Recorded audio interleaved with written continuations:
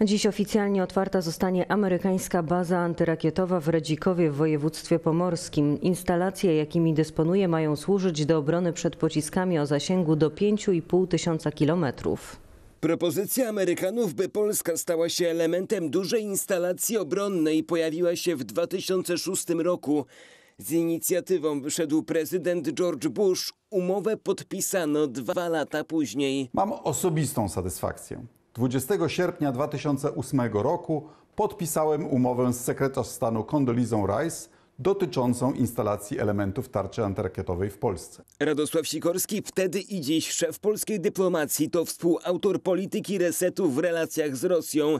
Budowa tarczy nie posuwała się naprzód. Rząd premiera Tuska zwlekał z decyzją. Przekonywał wtedy, że tarcza to inwestycja w amerykańskie, nie polskie bezpieczeństwo. Fakt, że ta instalacja antyrakietowa powstałaby w Polsce, zwiększa równocześnie pewną ilość ryzyk i zagrożeń także dla strony polskiej. To przecież Radosław Sikorski razem z Donaldem Tuskiem jeździli do Moskwy i konsultowali y, budowę bazy rakietowej, ponieważ y, wychodzili z założenia, że jest to temat bardzo drażliwy dla Putina. Premier Tusk chciał wtedy transparentności. Minister Radosław Sikorski przekonywał, by dać Moskwie wgląd do instalacji.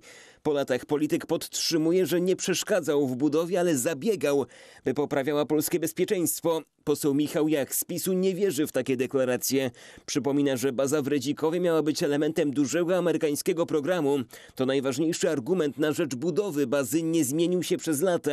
Budowa bazy w Redzikowie ruszyła w 2016 roku. W tym roku baza zadeklarowała gotowość operacyjną. będzie wymagała na sojusznikach, a przede wszystkim na Stanach Zjednoczonych, ochrony całej Rzeczpospolitej. Dziś baza w Redzikowie zostanie oficjalnie otwarta. Ma chronić Amerykanów i ich europejskich sojuszników przed pociskami balistycznymi, przede wszystkim z Iranu. W inauguracji udział weźmie prezydent Andrzej Duda. Polityk wraca z Azerbejdżanu, gdzie brał udział w szczycie klimatycznym COP29.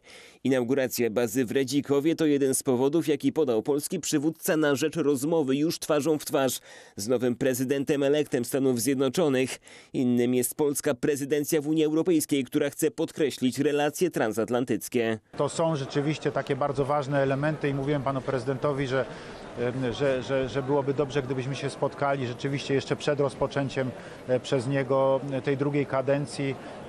Pan prezydent powiedział, że jest to mm, znakomity pomysł, rzeczywiście trzeba to zrealizować. Według informacji, jakie przekazał wicepremier Władysław Kosiniak-Kamysz, Polska będzie zabiegała o rozszerzenie działania tarczy antyrakietowej.